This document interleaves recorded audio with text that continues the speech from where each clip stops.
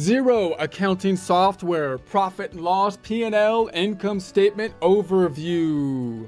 Get ready to be an office hero with Xero. Here we are in our custom Xero homepage we set up in a prior presentation. Zooming in a bit, holding down control, scrolling up on the scroll wheel, currently at 175%. Zoom in. Opening the demo company, but doing so with the reset item which will reset the data and open the demo. We're then going to be opening up our major two financial statements in new tabs up top as we've been doing every time. Right click in the tab up top to duplicate it. Right click in the duplicated tab to duplicate it again. Back to the tab to the middle as the tab to the right thinks. Accounting drop down, we want the balance sheet and then tab to the right. This time we want the accounting drop down, the income statement or profit loss P&L. And then back to the balance sheet, we're going to change the name and customize it. Por favor, bringing the name on up uh, to, uh, to, I'm sorry, bringing the date to 2022. Got a little lost there. I'm going to update that. There we have it.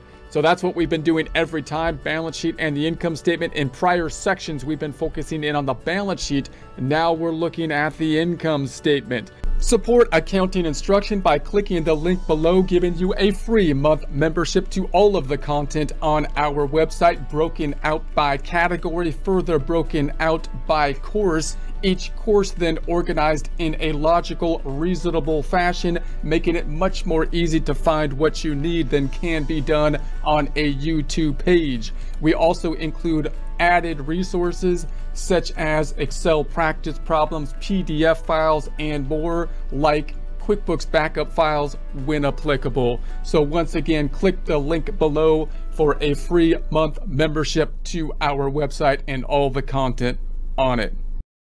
So we're first going to give some analysis or some thought in terms of what the income statement is, what accounts are in the income statement, because these are the two major financial statement reports. When you look at all the other reports that are in uh, the reports section, you can think of them as generally giving more information about one or multiple items on the major financial statements, balance sheet, and the income statement. So quick recap in that the balance sheet is as of a point in time. This is where we stand as of a point in time. It is the accounting equation, assets equal liabilities plus equity. The income statement is the performance statement. And notice down here, they do do the same thing that kind of QuickBooks does. I thought they didn't uh, before, but they do have down here the current year earnings. So that current year earnings is trying to indicate or tie together the income statement and uh, the balance sheet. So if I go onto the income statement, you can see down here, we've got the current earnings down below. So the way you want to think about this is, or one way you can look at it, is if I go back to the balance sheet, the balance sheet is the double entry accounting system, assets equal liabilities plus equity. So how does the income statement, revenue and expenses fit into the double entry accounting system if the balance sheet is the accounting equation? It gives you timing, it gives you distance, it goes back into the past. So now part of the equity section, which is assets minus liabilities, the bottom line to some degree, the owner's kind of value in the business on a book uh, basis, then is going to be broken out in terms of how we got that value, looking at the last year, looking at the performance, revenue and expenses. So it's kind of like this this is where we are at this point in time the income statement, you could think of of an analogy of trying to drive a car as far as you can go in like a day. You're just going to reset the odometer. You're going to go as far as you can go for a day. And then whatever the odometer says at the end of that day, that's how far you went. And then if you want to test it out again next time, you can reset the odometer back to zero again. The balance sheet shows you where you ended up at the end of that time frame. So all of these accounts down here, income and expenses being the major two, are just going up, up, up in general over the time frame that we have given. That would be either mainly a month, a quarter, or a year. And then they're going to be reset, generally thought of at, at like the end of the year or whatever the next data time set is, so that we can count up again from there. So that means the income statement is going to be for the year ended uh, December 31st. That means January through December, as opposed to the balance sheet, which is as of a point in time, says as of December 31st. So if I go back on over to the income statement, the major accounts on the income statement, if it was a single step income statement, we might call it, would just be revenue or income accounts increasing uh, as, as we generate revenue or income, and then expense type of accounts represented the things that we consumed in the business in order to generate the revenue, the assets we consumed that are now expensed, such as cash, for example, in order to generate revenue in the business. So then we also have some subcategories that can happen along the way, which might be cost of goods sold being the biggest one and more of a multi-step income statement, you might call it, because that one is so important if you sell inventory because it represents the cost of the inventory you sell that we break it out in, into its own kind of category here and then we also break out the gross profit. So let's just pull out the calculator and run through the income statement just to get a feel for how the calculations look on it. So we've got the income accounts, which is the 3623.86 minus the cost of goods, which represents the sale of inventory. If you don't have inventory, you won't have any cost of goods sold. If you do have inventory, the relationship between the sale of inventory and cost of goods sold is so important and so big of an expense that we have our own gross profit, a subtotal, kind of a pit stop along the road to get down to the bottom line of net income. And then we've got operating expenses, which in essence is everything else. So we put everything else in essence into the operating expenses and that totals up down here. So if I subtract out those expenses, 39066.56, we're at a loss at this point in time for the net income. You also might have some other expenses which are non-operating or non-operating income and expenses down below down here uh, in some cases, which would be things that are not part of normal operations. Therefore, you, you might want another pit stop along the way before you get to net income so you can look at the things that are actually connected to driving revenue and what you can predict will be there again in the future to those things that are not connected or are not normal in the operations and therefore you put them kind of at the bottom. So that's the, the general idea. Uh, let's go back up to the top. So the sales items, notice if I go to my uh, flow chart here, the sales are going to go up typically with the with the invoice forms and the sales receipt forms or when they're either going up when you make an invoice or you receive payment at the point in time that you did the work, or possibly with a deposit form, which isn't really the natural form or money increase form, not really the natural form to be using, uh, but might be the easy thing to do in some situations, like if you have a gig work, if you're getting paid just by YouTube or something like that, and then we can increase the sales. Now, note that we only have one line item of sales here, uh, you might think, well, look, I, I, sold stuff to a bunch of different customers. I sold stuff to, to, a bunch of different things or a bunch of different services. Why only one sales line? Why don't I make another sales line for all my big customers or why not for all the things that I sell? Because you don't want to muddy up the income statement. In essence, the idea being you're only doing like one or two things in whole, in group, in category on the sales side of things and if you add every particular inventory items you sell or every service you do, then your income statement is going to be really long, cumbersome, and muddy. And we should have other reports that can help us out with that. So we'll, we've looked at some reports in general. We'll probably look at more in the future that might give us some more support on the sales line item, possibly breaking out that uh, number by customer. So we might be able to use sub sub reports to do that instead of muddying up the income statement with that added deal. So we might have a sub report breaking this information out by what we sold, by item, inventory, or service as well. If I go back to the first tab, let's go to the accounting dropdown and look at the chart of accounts. So if I look at the chart of accounts, we can see it's normally in order in terms of assets, liabilities, equity, in other words, the balance sheet on top of the income statement. We can also break it out here by looking at the, the sales, which is the revenue line item here. And there's our sales items that we've, we've put together the, the, in the chart of accounts that are used then to create the financial statement. So whenever we enter a transaction, most likely an invoice or receive payment, that will that will be having an impact on the sales oftentimes. All right, then the cost of goods sold. So that is only impacted when we deal with uh, inventory. So remember that that uh, that when we have inventory, it complicates the system because usually that's going to move us from doing a simple cash kind of system to having to do an accrual basis, meaning when I buy the inventory, usually we're going to put it on the books up here somewhere as an asset. And then when I sell the inventory, we're to move that, we're to decrease the asset and record the cost of goods sold when we sold it. You can see that's an accrual thing because when I, if I just bought and sold the inventory, you might say, well, why don't I just expense the inventory when I bought it?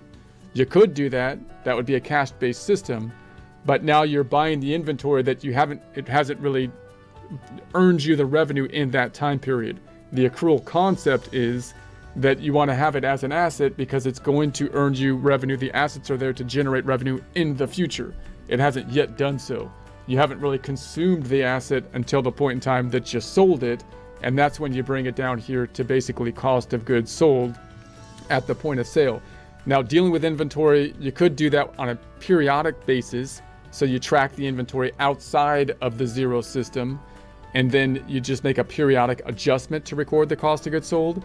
In that case, it's a little easier to set up, but you don't have that real-time activity in the in the Xero system. Or you can have a perpetual inventory system, in which case the cost of goods sold would be recorded when you create a sales item that sells inventory, and that generally happens with an invoice or uh, a receive money form.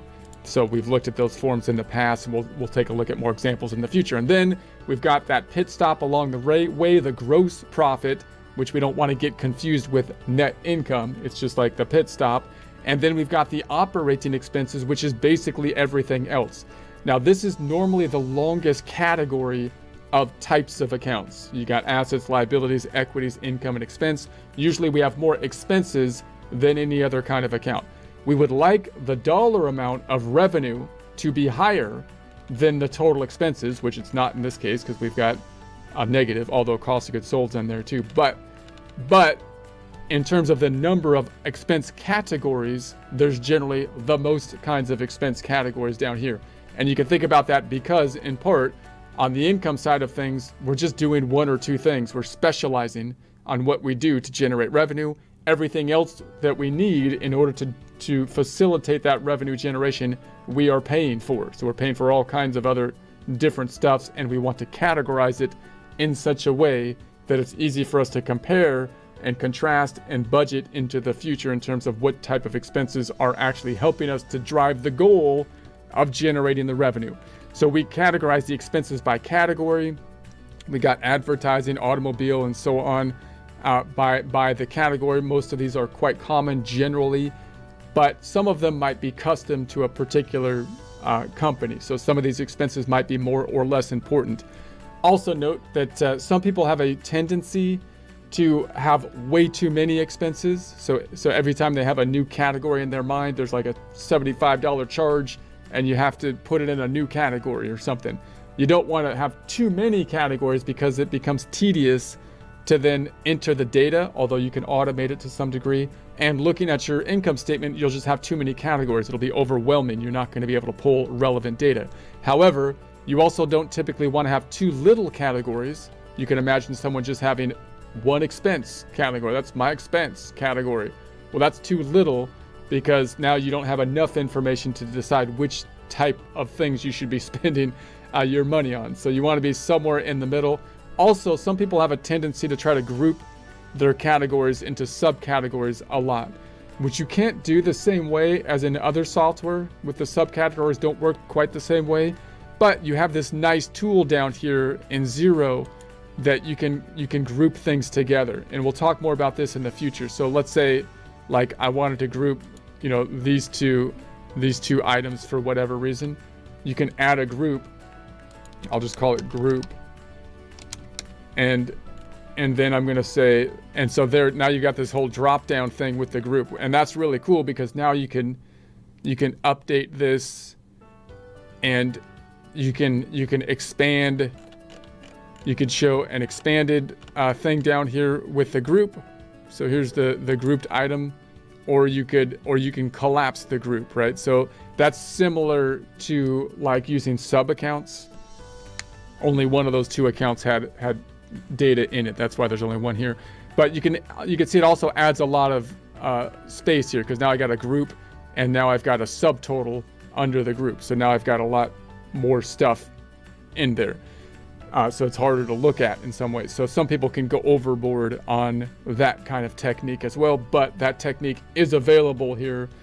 Uh, it's just a little bit different that you might see or be used to, and it's got its pros and cons in terms of it's probably more flexible in that way. You can also actually change the order of the accounts like we talked about before. Instead of having it in alphabetical order, uh, Xero has this nice thing where you, you could turn on the account numbers so I could say I want to see account codes, basically account numbers, and now it's going to be ordered by, in essence, account number by default. But you can also turn those account numbers off, which is something you can't do in some other softwares, which is uh, honestly kind of annoying. And then you can actually reorder these things using your edit layout tool over here as well. So that's pretty neat. We'll talk more about that uh, in the future, but I want to just point that out in terms of the formatting. Then you got the total expenses, and then you've got the net income, which is going to be the bottom line. That's your performance revenue minus uh, all of the expenses. Also, just note on the expense side of things, there's some people also have a tendency, like with the income, to make expenses by who they paid.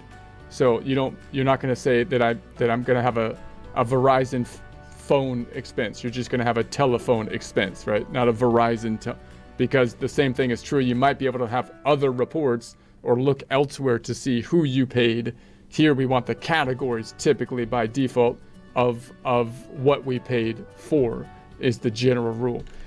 Okay, and then of course that net income rolls into the balance sheet here. So they actually have an account to kind of showing it roll over here. And then if I was to go to the next period, let's say I go to, uh, to, or let's say I just change the date here and I go to a custom date and say it's going to go from January and let's say we just did it to to to January to the end of January. So now we've just got a month of data.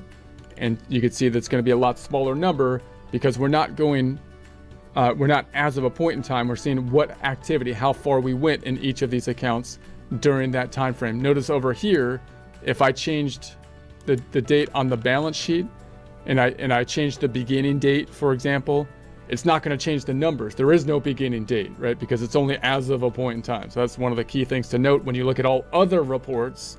Then you want to think about, am I looking at a report that's more like a balance sheet report, reporting things as of a point in time, or an income statement report, which is a performance report showing activity over a time frame.